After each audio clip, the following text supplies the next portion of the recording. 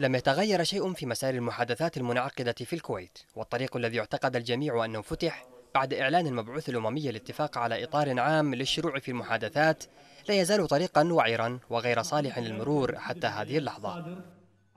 بعد بيان من مجلس الأمن وتدخل من أمير الكويت أعلن ولد الشيخ أنه تمكن من تحقيق اختراق يسمح باستئناف المحادثات التي كانت مهددة بالفشل مع استمرار رفض وفد الميليشيا الموافقة على جدول أعمال اللقاء.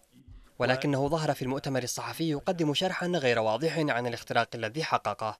التقدم الذي انتظره الجميع كان يفترض أن يتحقق على مسار إقرار أجندة المحادثات والشروع في بحثها لكن المبعوث الأممي ظهر متحدثا عما أسماه الإطار العام للمفاوضات وهي صيغة جديدة للرؤية الأممية لحل الأزمة اليمنية على ما يبدو وتشمل الأبعاد الأمنية والاقتصادية والسياسية للمرحلة المقبلة بحسب ولد الشيخ. لقد عرضت على الأطراف إطارا عاما يجمع محاور عدة تشمل الأبعاد الأمنية والاقتصادية والسياسية للمرحلة المقبلة.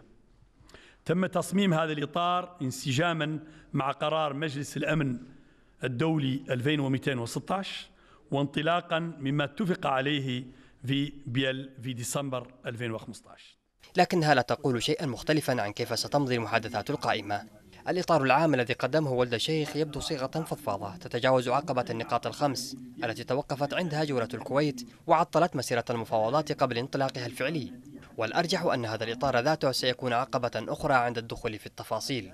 كان من المفترض أن يعقب الاتفاق على هذا الإطار الشروع في المحادثات بين وفدي الحكومة والميليشيا لكن ذلك لم يحدث.